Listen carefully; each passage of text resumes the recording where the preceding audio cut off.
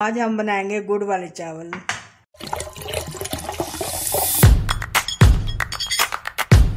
तकरीबन आधा किलो गुड़ है। इसका हम पानी बनाएँगे। ये हम तीन गिलास पानी डालेंगे इसमें।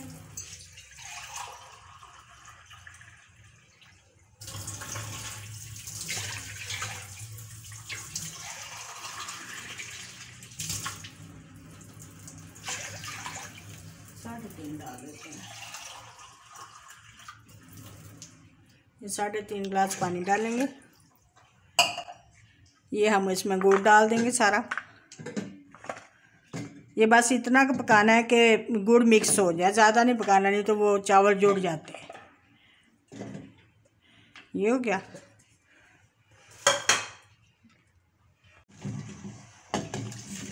जो तक बन जाती है। ये देखिए, ये सारा गुड़ मिक्स हो गया है। ये पानी इस तरह, इसको पाँच दस मिनट रहने दें और नीचे जो मैल वगैरह होगी वो बैठ जाएगी, फिर ऊपर से हम पानी निकाल लेंगे इसको हम पुन लेते हैं, क्योंकि गुड़ के ऊपर कोई चीज़ वगैरह लगी हो, कोई वो पुनने के ज़रिए सारा निकल आएगा।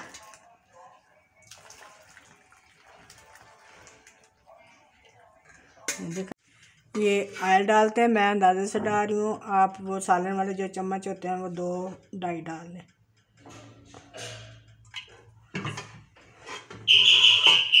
इसमें ये चार पाँच सब्ज़ इलायची डाल लें। इसका हम तड़का बनाएँगे।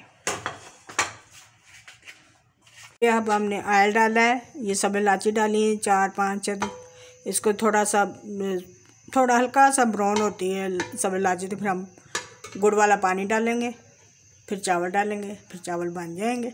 ये देखें, अब बबलाने शुरू हो गया। अब हम डालेंगे इसमें पानी, गुड़ वाला। ये ना हो कि आप दूसरा डाल दें। हम डालेंगे इसमें पानी।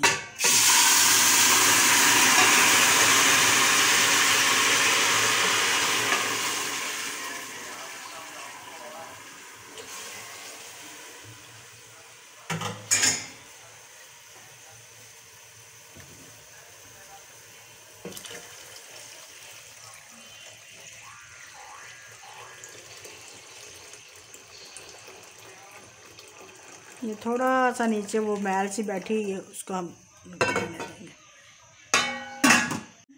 ये दो गिलास चावल है, इनको मैंने भगोया हुआ है। अब इनको धोती हूँ, धो के फिर बनाते हैं, फिर मैं आपको बताती हूँ। ये गुड़ अब डालेंगे हम चावल इसमें। ये देखिए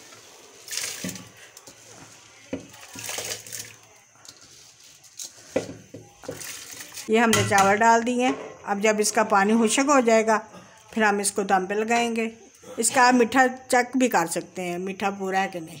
ये एक उबाल आता है ना, फिर हम मीठा भी चेक कर लेंगे अगर आपको मीठा कम लगे तो आप चीनी डाल लें थोड़ी सी। हमारे चावल तैयार होने वाले हैं। ये देखें, ये मैंने बीच में गरी वगैरह डाल दी हुई है। तो अब देखें कैसे बनते हैं। चेक हो गया। अब हम इसको दम पे लगाएँगे।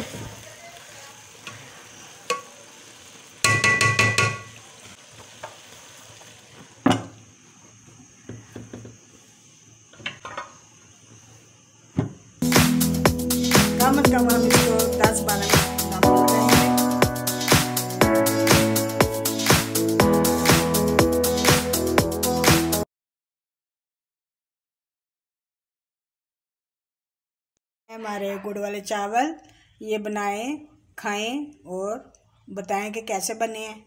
और फिर आगे बताएँगे हम क्या नई और देसी चीज़ बनाएँ।